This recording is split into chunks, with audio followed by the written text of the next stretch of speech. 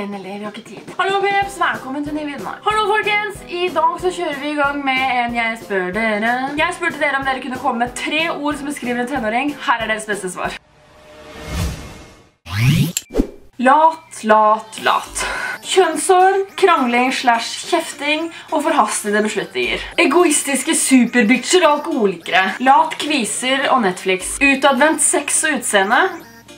Ja, de også tror jeg vil beskrive tenåring med de tre ordene faktisk. Drama, kjærlighet og fest. Luktende, telefonavhengig og irriterende.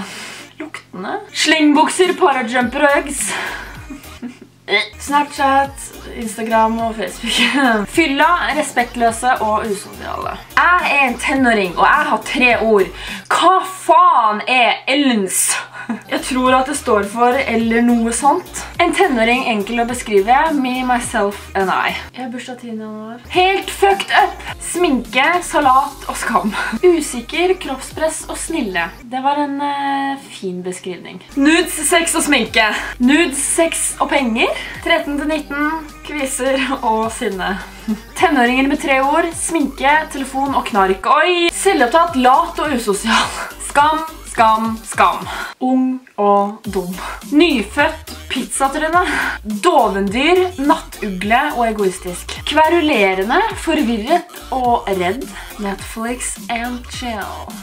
Sur hele tiden. Mennesker uten hjerne. Vi er barnslige!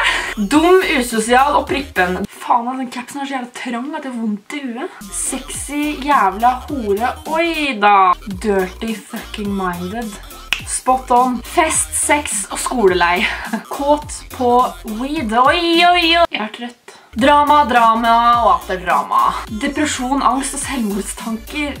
Oi da. Sove, spise, sex. Kåt, nudes og cola. Hate my mom. Hate my mom. Mom, I need cola. YouTube, sofa og klaging. Irriterende, brutal og vanskelig. Det høres ut som meg. Det var videoen dere. Håper virkelig at dere likte den. Hvis dere gjorde det, husk en tommel opp til neste video. Deres beste comeback hvis noen kommenterer stygt om ditt utseende. Vi snakkes i neste video. Ha det bra!